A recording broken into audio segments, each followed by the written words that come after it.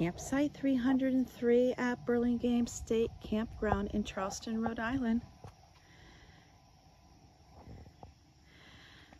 This campsite sits at the entrance to Fish Camp, walking distance to the bathroom. Now that bathroom is slated for reconstruction in the next couple of years. So that scene may change a little.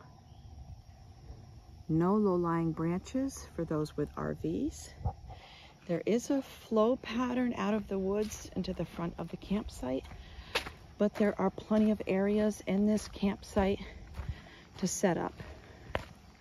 You do have a neighbor to the left, but you don't have a close neighbor to the right, and you are up against the woods, so that's great. Nice fire pit. Just be mindful where you set up. Look for the darker areas where there's been freestanding water. This video is brought to you by Bound for Burlingame. We are campers helping campers, which means this video and all of the other almost 1,600 videos currently were voluntarily filmed and uploaded by a camper.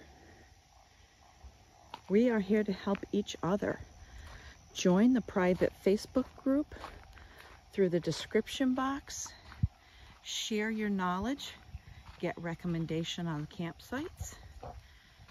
Ask questions to the campers who have spent decade after decade here on the property.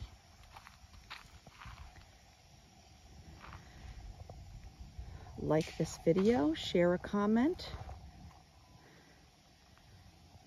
Follow the page so you know when new videos are uploaded. Enjoy your stay at the campground.